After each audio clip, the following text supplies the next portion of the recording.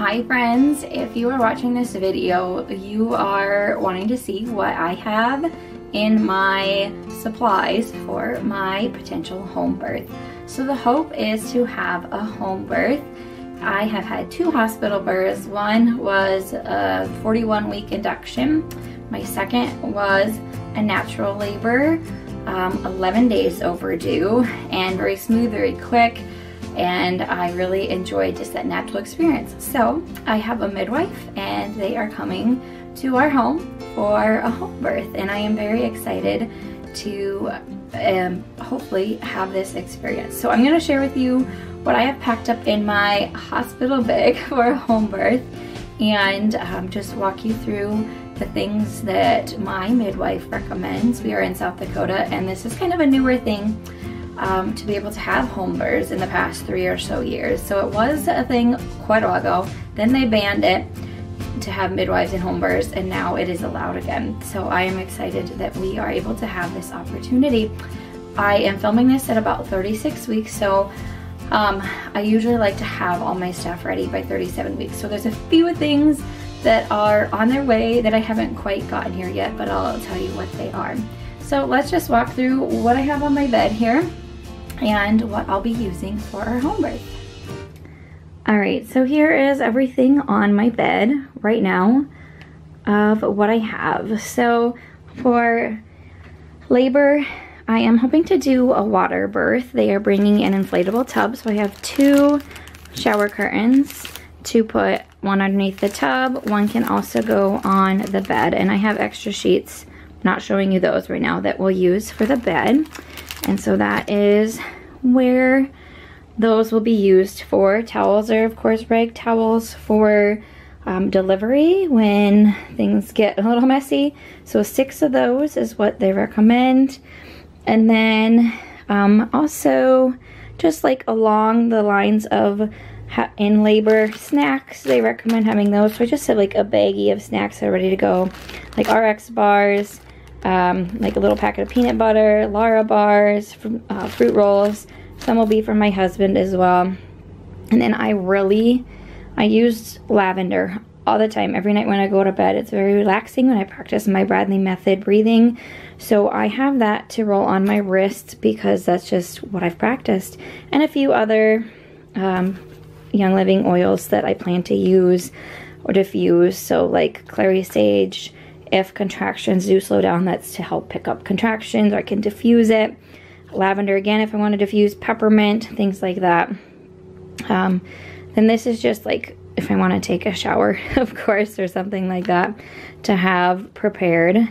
Um, you're probably wondering why I am showing you some of this stuff. Uh, the reason is we're actually hoping to deliver at our guest cottage. Our house is about 950 square foot and so we're going to be heading over to our guest cottage to birth our baby. And so I'm excited to use that space. That's why I have some extra things that, you know, you would typically have shampoo and soap in your bathroom and lotion. Like I, I love lavender. Like I've been telling you, lavender is great right now. So just like lavender for um, if I want to just, if my skin feels dry, you know, that scent. Um, so we will be at the guest cottage. And then this is the tincture shepherd's purse for after birth to help with those um, uh, stop the bleeding uh, afterwards. So I also have one more coming AfterEase is one that I will be getting as well. Hydrogen peroxide is recommended. And then six swaddling blankets. So I have some from previous births of gifts and those are girl colored. We did not find the gender of this baby. So this one, some of these I ordered are like gender neutral and then just like a gray, light blue. So just to have six of those when baby comes, 12 washcloths to have for cleanup, I'm sure, and have on hand that we don't really care about. And then in this bag is all like my personal stuff like pads and a cover for the bed. This spray bottle is amazing, a peri bottle. Um, I was given it after my first birth and so it's extremely helpful to have those extra pads in there, depends type of things. And then since we don't know what we're having, I have a few outfits and a swaddle for baby. Uh, maybe like a little bow if it is a girl. This is for, know, cleaning out the nose and getting all the gunk out. And also for baby, I do have a few extra, just that like burp cloths, burp rags if I need those. A few one extra onesies if it is a girl and I want that, like a crib sheet in the bottom there because we'll probably have um, a bassinet over there for the first night that we stay at our cottage. And then just some baby wash cloth. I love these bamboo ones that I got on Amazon. And some of these things I've gotten from Amazon, I will link for you. Or you can check my shop out as well because I really like these for my toddlers. And I do have baby shampoo that I make. Um, the recipe is just super easy. Cast soap, some drops of lavender, distilled water, and that's that. I use it on my toddlers as well.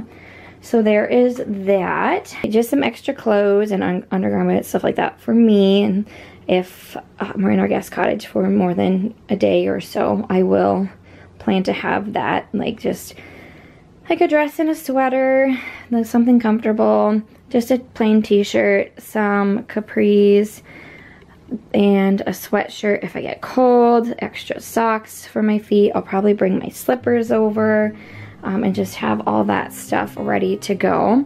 And of course, then we'll have stuff for my husband, but um, like I said, our guest cottage is literally right next door, so he could run back home if he needed to. So I'll also plan to bring a couple laundry baskets and some trash bags for the dirty towels. We do have a washer dryer set at our cottage, so that's really nice to have that. Um, yeah, and just, this is pretty much the basics. We do need a garden hose to have water to fill up the inflatable tub for birth because that will hook up to your um, water um, spigot for the washing machine. So we'll have that that we'll have to get or grab as well. We won't use a dirty, a dirty garden one that we've had. We'll have something cleaner. And then potentially a few more like drop cloth slash um, tablecloths or shower curtains for the floor if I wish but really not much else. This is the basics of what we need. Like I said, some of the things I don't have yet, like the AfterEase tincture, I wanna get the garden hose, um, and a few other things I'll grab at the end and I'll just put it all in a bag for us, have a couple things at the cottage beforehand um, so that I'm prepared and ready. And I know you can never tell when a baby is gonna actually come, but hopefully everything will um, come smoothly and I'm hoping for coming about 40 weeks. Uh, this pregnancy, the last trimester here, this third trimester, has been a little tougher and harder. I carry very high and so I'm constantly having rib pains.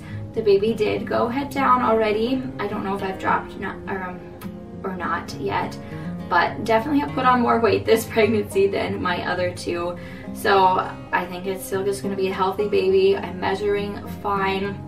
We don't do any ultrasounds or extra checks being a home birth and midwife delivery. So I'm just praying for a healthy baby, boy or girl, and having my supplies ready. It just puts my mind more at ease and it just makes me feel just excited to welcome this precious life into the world. And I'll be excited to share my delivery story with you, whatever that brings, whether that be home birth.